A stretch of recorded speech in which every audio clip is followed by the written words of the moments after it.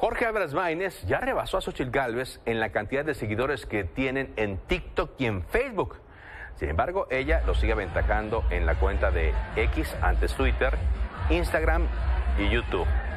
Tanto ha aumentado eh, esta popularidad de Jorge Álvarez Maínez, que su eh, canción de campaña ya se puede escuchar en algunos antros.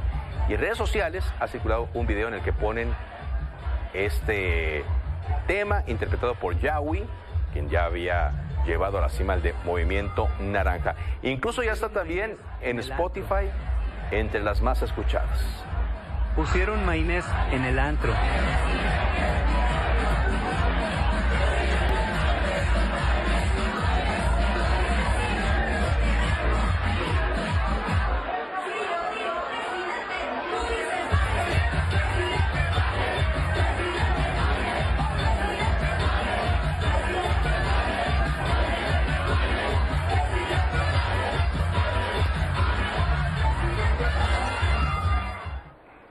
Se volvió muy viral ese tema de presidente Maínez.